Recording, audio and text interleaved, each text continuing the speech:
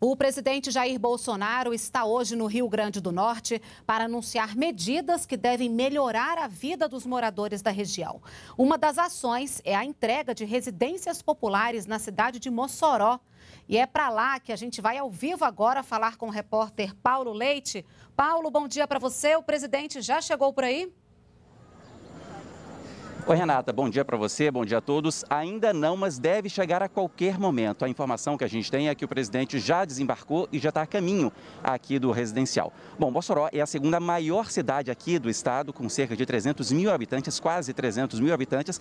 Só a capital, Natal, tem mais habitantes. E eu estou mais especificamente no residencial que vai ser entregue pelo presidente Jair Bolsonaro Daqui a pouco são 18 blocos, como este aqui de apartamentos. Ao todo são 300 apartamentos. Cada um desses apartamentos tem 39 metros quadrados. E se a gente levar em conta que cada família tem, em média, quatro pessoas, 1.200 pessoas devem morar aqui. Vão viver aqui pessoas que, famílias, né, que têm renda de até R$ 1.800 por mês. Esse é um dos residenciais e mais dois estão sendo construídos ali ao lado. Bom, a gente segue falando ao vivo, mas vai agora até Ipanguaçu, também aqui no Rio Grande do Norte, onde está ao vivo o repórter Carlos Molinari. Oi, Molinari, bom dia. Bom dia, Paulo. Bom dia, amigos da TV Brasil. Pois é, estou aqui em Ipanguaçu, município de 15 mil habitantes do semiárido do Rio Grande do Norte, mais ou menos entre Mossoró e Açu, onde o presidente Jair Bolsonaro chegará por volta de meio-dia e 30. Aqui serão feitas várias entregas do governo federal à população.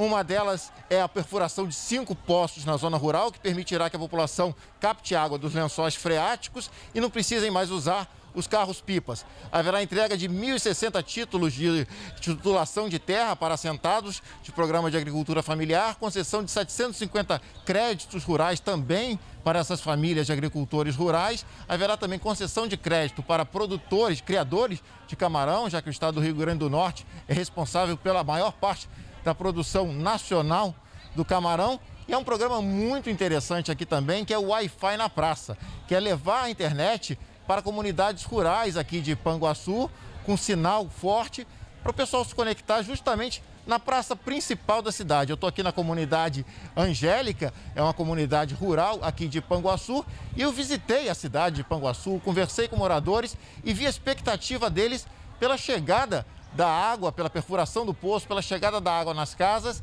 e também a felicidade por estarem ganhando o auxílio emergencial nesses tempos de pandemia. Confira na reportagem. É sob um sol escaldante e temperaturas altas que o nordestino do semiárido ganha vida. Não é diferente em Ipanguaçu, município da região do Vale do Açu, no Rio Grande do Norte, distante 210 quilômetros de Natal. Muitos agricultores vêm para o centrinho vender sua produção.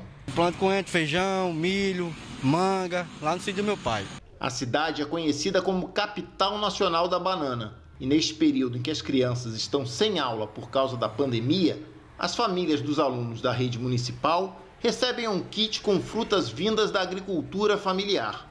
Atualmente, o burburinho na cidade de 15 mil habitantes é um só. Um projeto que fizeram, né, sobre um, um, um poço profundo, né, que estou sabendo, assim, por, por, por, a, por a, as redes sociais. Uma das grandes preocupações do semiárido nordestino é o acesso à água.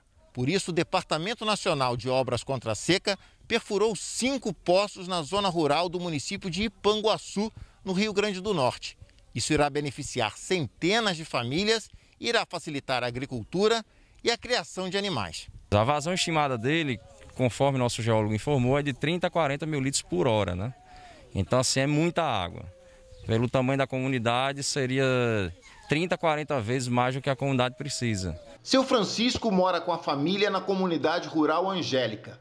Num lugar onde o índice de chuvas é escasso, os poços que acham água a 140 metros do solo são a salvação. Estava maior por conta que o poço estava desmantelado. Aí não tinha como, porque era só no aperreio para esperar pelo carro-pipa.